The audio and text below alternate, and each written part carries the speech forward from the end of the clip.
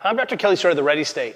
One of the aspects of the H wave that I love is that once people have moved out of their acute injury or sort of acute trauma or acute surgical, post surgical phase, we have this incredible device we can actually utilize when we overdo it or when we enhance our recovery.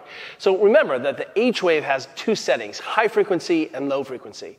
The bulk of what we prescribe for most of our athletes or people post surgery or in pain is low frequency, which creates a non fatiguing muscle contraction that allows me to get movement in a system that the brain perceives as safe, but also allows me to decongest the system so I can move the lymphatics out. But we also know that we start to see muscle activated sort of recovery cascade effects happening, which is short for increased blood flow to these areas.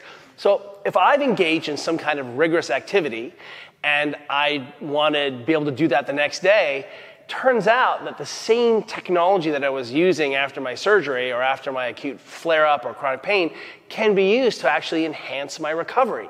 So, this technology we can use with our elite athletes, even if you don't self identify as one.